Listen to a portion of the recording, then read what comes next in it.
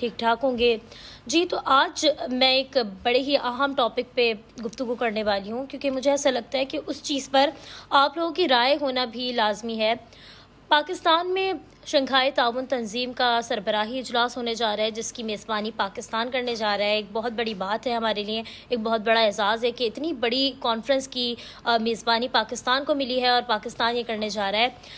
ये इजलास जो है, वो पंद्रह से सोलह अक्टूबर तक पाकिस्तान इस्लामाबाद में जारी रहेगा, जिसकी तैयारियाँ बड़ी ज़ोर शोर से की जा रही हैं। इस्लामाबाद में भी तैयारियाँ मुकम्मल की गई हैं और बहुत सख्त सिक्योरिटी के भी इंतज़ाम इस हवाले से किए गए हैं। लेकिन जिसमें जो है एक पाकिस्तान तहरीक इंसाफ की जानब से अब यह ऐलान किया गया कि पंद्रह अक्टूबर को उन्होंने एहतजाज की कॉल दे दी और वो पंद्रह अक्टूबर को है इस्लामाबाद में एहतजाज करने वाले हैं।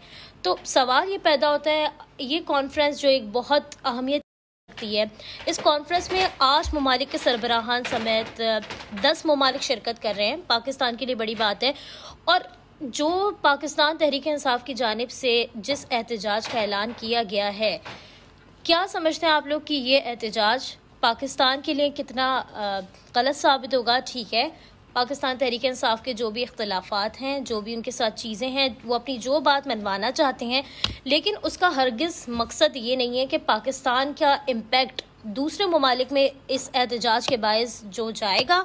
आ, मेरे हिसाब से मैं अगर देखूँ तो ये चीज़ मुझे बिल्कुल मुनासिब नहीं लग रही है। अगर उन्होंने अपने मुतालबात मनवाने या कोई भी चीज़ है तो इसका मकसद ये नहीं है कि वो पाकिस्तान का इम्पेक्ट दूसरे ममालिक पर, क्योंकि अब ये एहतजाज होगा और जो सारी चीज़ें जितनी भी हम देख रहे हैं तो उससे पाकिस्तान का इम्पेक्ट बहुत आज पीटीआई की जानब से जो है, वो ये भी कहा गया है कि अगर बानी पीटीआई से उनकी मुलाकात करवा दी जाती है तो वो ये एहतजाज मुलतवी कर सकते हैं।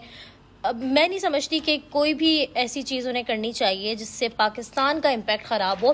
पाकिस्तान तहरीक इंसाफ के अपने मसाइल हैं, जो भी उनकी चीज़ें हैं, लेकिन ये बिल्कुल ठीक चीज़ मुझे नहीं लग रही है कि पाकिस्तान में शंघाई ताउन तंजीम का अजलास होने जा रहा है और उस दौरान ये एहतजाज की कॉल सरासर गलत है। आप लोग